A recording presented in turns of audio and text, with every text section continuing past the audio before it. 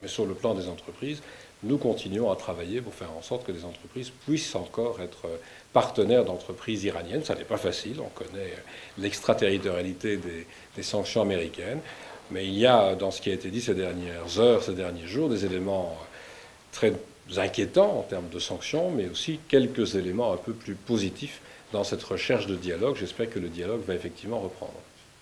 Exemple de ça, et c'était ce matin, on a vu ce qui est... Il faut respecter euh, les accords pour la position de l'Union européenne nous voit, nous voit solidaires. Évidemment, nous aussi, nous regardons avec beaucoup de soir et nous allons euh, faire tout ce qui nous est possible du point de vue des efforts diplomatiques pour stimuler un dialogue direct entre les États-Unis et l'Iran. Nous pensons que la voie du dialogue doit toujours prévaloir.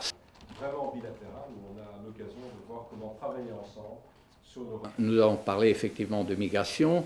Il est, euh, il est clair que pour l'Italie, euh, vu l'actuel flou migratoire euh, des dernières années, c'est un, un, élément, une question d'importance prioritaire. nous pensons que ça doit pas être, ça ne peut pas être une question à la fois italienne, grecque, espagnole, selon le flux migratoire, mais que ça doit toujours être une question européenne. Nous, pensons aussi que si la question est affrontée comme question européenne, elle ne soulève pas uniquement de problèmes, mais elle peut aussi offrir des opportunités.